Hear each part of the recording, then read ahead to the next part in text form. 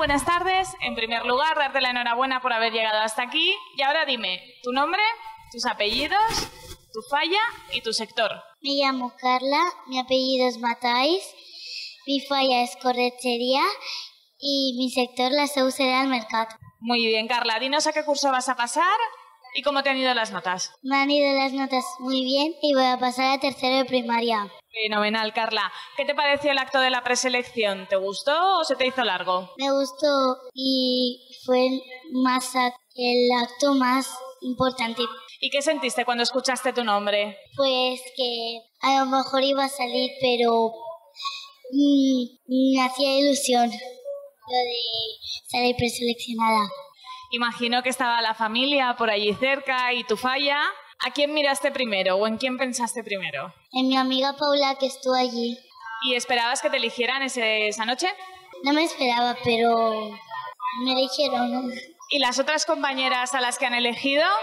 ¿Esperabas que salieran ellas? Sí, porque son mis dos mejores amigas. Ya, qué bien. ¿Y hay alguna compañera de las que no ha salido que te gustaría que estuviera aquí? Pues Alexandra porque ha sido muy buena chica. Entonces, me has dicho que con tus compañeras, con las que han salido, son mejores amigas, con lo cual te llevas fenomenal con ellas. Sí, Y esa noche el jurado os hizo preguntas. ¿Qué tal fueron esas preguntas? ¿Fueron fáciles, difíciles o complicadas? me fueron fáciles.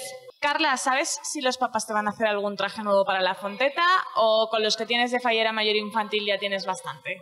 Pues creo que me van a hacer uno nuevo, pero todavía no lo sé. ¿Sabes decirme dónde te hacen los trajes los papás? Pero coser, pues en una casa donde me las cose Concha Delgado. Bien. ¿Cómo esperas vivir el acto de la fonteta? Pues creo que va a ser súper emocionante y quien salga salió. ¿Te hace mucha ilusión? Sí, ¿Y vas a estar nerviosa? no, Carla, ¿crees que te van a elegir para la corte infantil del 2018?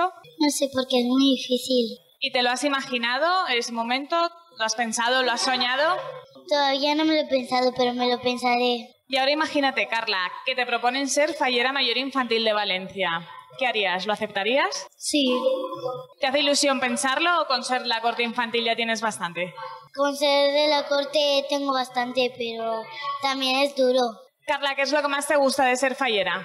La ofrenda, presentación y preselección. ¿Y los moños? ¿El de atrás o el de los lados? ¿Los rodetes te molestan? Un poco, pero hay que aguantarse. Y ahora imagínate, Carla, que te cogen para la corte de- del dos- del 2018, ¿vale? Del año que viene. ¿Te va a molestar que te hagan muchas fotos o te gusta que te hagan fotos? Me gusta, me gusta.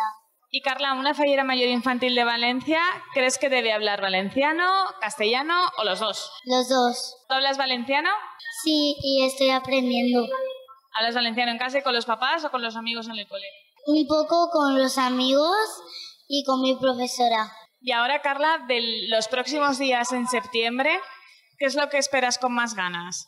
Calvestra, los museos, la batalla de flores. La batalla de flores.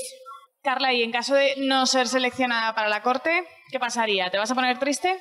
No, porque así puedo hacer otras cosas como montar a caballo. Bueno, Carla, pues muchísimas gracias por habernos acompañado en esta tarde de entrevistas. Te deseamos muchísima suerte para la fonteta y ojalá nos veamos muy pronto.